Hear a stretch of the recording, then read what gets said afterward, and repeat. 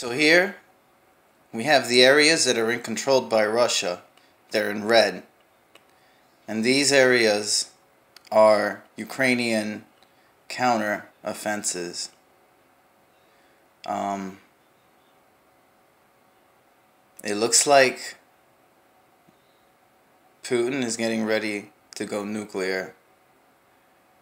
These are the regions that have been annexed right here. He's captured one of them, but he's got control of these two, leaving these two right here. If if the Russians are going to go nuclear, they're going to strike here in the Black Sea. They're going to strike in Crimea. He might use two. He might use a tactical nuke right here by Donetsk and one right here by Crimea. He might even hit Crimea and Kherson. Right now, he might be evacuating all the command posts in Kherson and Zaporizhia right here and over here in Donetsk. Um, yeah, it's looking like it's looking like uh, we're gonna go nuclear, man. Yeah. I think that's what we're looking at. Over here is the capital. That's the capital right there. These are all the areas that have been annexed right here. These.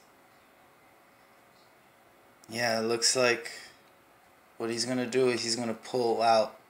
He's going to pull out and he's going to go in this direction. He's going to evacuate from here. And then the nuke is going to be coming all the way from the other side of Russia, like from here. And it's going to travel. It's going to hit right here. Boom.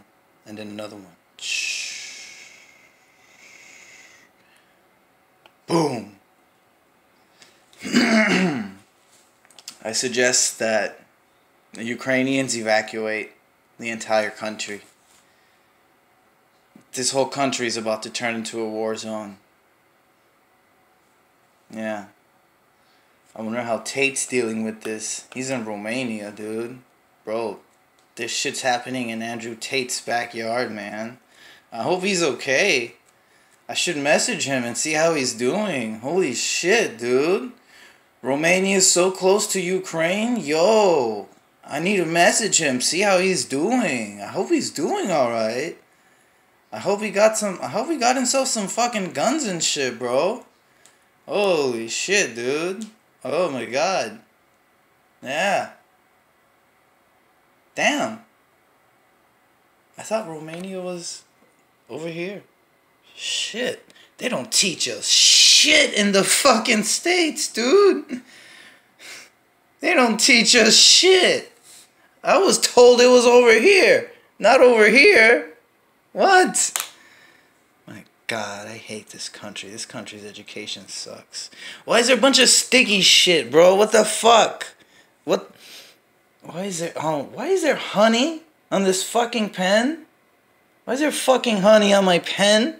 How did how did fucking honey get on this shit, dude? Look, my finger's all fucking sticky, man. Fuck. Anyways, yeah, I think um I'm pretty sure that the Black Sea and the Sea of Azov, these areas right here are the most at risk, and also Kiev, which makes sense.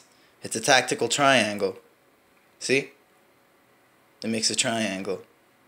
That, I think, it's a 90% chance that that's Putin's strategy. He's going to go with the tactical triangle strategy.